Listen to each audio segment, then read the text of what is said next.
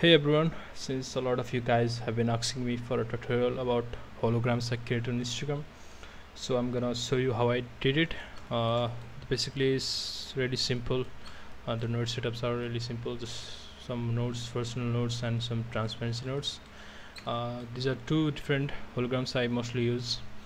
Uh, this one is uh, made using a picture and some nodes, and uh, this is actually on a model of a fish uh, this model can be found on sketchfab on internet everywhere like it's free. I'm gonna link it uh, in my bio uh, i'm sorry in the description. So yeah let's get started. Actually and also this works both in cycles and ev uh, just uh, eevee is better for you know like uh, the bloom it gives but it works fine in both one.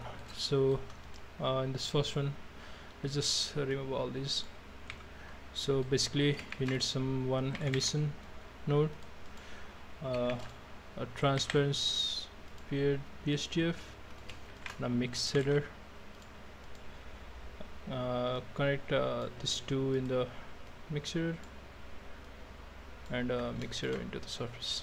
So yeah basically you get like this white stuff uh, let's make it blue or orange yeah and let's crank up the strength to 5 uh, I guess 2 yeah that works. Uh, the alloys. Uh, also we need a mix RGB node and uh, Fresnel node. Yeah so connect this node in the color 2 and uh, oh, sorry this one. Fresnel node so connect the fact into the color 2 and duplicate this first node and connect the fact to the color 1 and uh, for the IOR on this the top one change it to something that is near to 1 something like uh, 1.06 uh, yeah that works fine. And uh, let's uh, add a uh, noise texture I guess. Yeah. Noise texture and a color ramp. Connect the color into the IOR of this second Fresnel load and uh, from the noise texture connect the color into the fact and uh, scale up this noise texture to something out mm, you know something around 230 I guess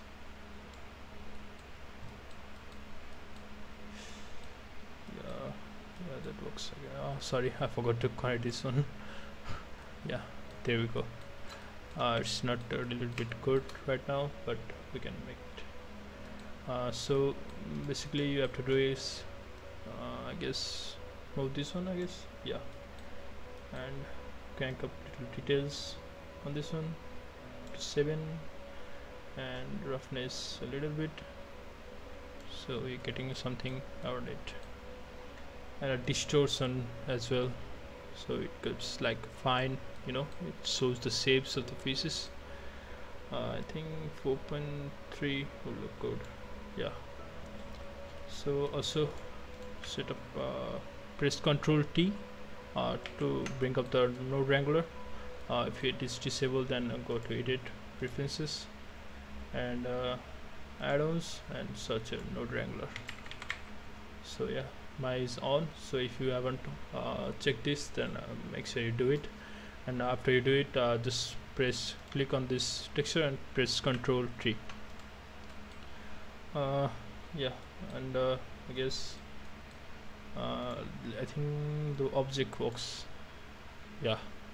So connect the object to vector. And I guess scale this down to 0 on x and y axis. Yeah so we are getting there on I guess let's crank up this emission. Yeah there we go. So this is how we do the fish hologram. You can see you can see transparency. So yeah uh, this so you can uh, adjust it to your liking uh, like this color ramps and stuffs. So you can like you know gives different effects. And you can also uh, scale up this or scale down as you wish and also you can change the color here. I can, can shift something to blue. Yeah blue looks nice.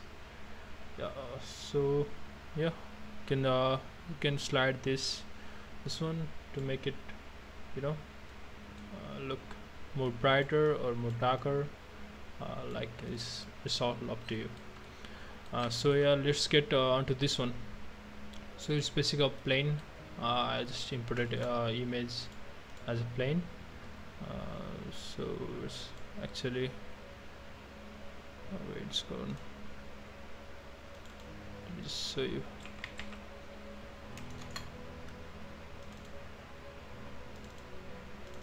Yeah, so yeah. Uh, yeah this uh, this uh, image I found on the internet. I think I just uh, input this one uh, as a image texture so yeah I just imported it already. So I'm just show you how I made this one. So let's just uh, leave this image and just remove the nodes. So first basically we need a mix shader and uh, one emission shader uh, and a transparent shader uh, and uh, connect uh, this image texture into the color and emission to shader 1 and transparent to here. And also cut this one. So basically we'll get like this but this is not at all. Let's crank up this strength to something around 5 or maybe 10 I guess yeah. Uh, and we need a I guess wave texture. Yeah. Uh, wave texture. Yeah and also a color ramp. Yeah. Uh, for this one uh, I guess we should duplicate this one mixture for for the color ramp. Uh, this is actually for the uh, this lines you know. Uh, so make it uh, on the y-axis. So it goes like this instead of this. And uh, scale up uh, yeah scale up it. And you can use this color ramp to increase the black value or the white value it's upon you. So yeah. And I think we uh, we just have to yeah. Also let's connect this color into the factor of the first mixture. So this get uh, like little bit of darkness. And uh, this transparent BHT into the next mixture. So we get like this. So I think we should crank up the strength. Something around 40 uh, 100 I guess. Yeah that works. So yeah. You get something like this. You can see. And also you can uh, these linings can be made smaller or bigger. Just play with this scale and stops. And this color ramp to crank up the black and or to crank up the white. It's upon you. So yeah this is the basic node also you can uh, uh, add a hue saturation over here between emission and the picture so you can change the color of the uh, color of your texture or image you know. Just set it to normal. Uh, you can increase the value over here. Also you can increase the saturation stuff so that's up on you. Yeah so that's just a simple node texture. Uh, hope you like it and hope it is useful for everyone. Thank you